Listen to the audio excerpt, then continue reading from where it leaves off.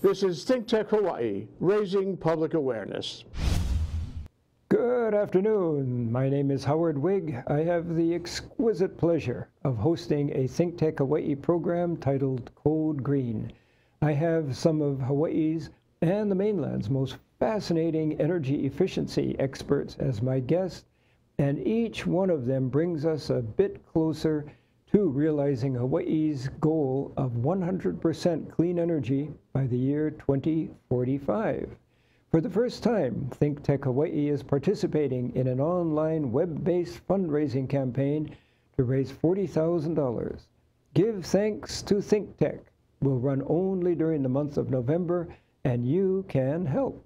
Please donate what you can so that ThinkTech Hawaii can continue to raise public awareness and promote civic engagement through three free programming like mine.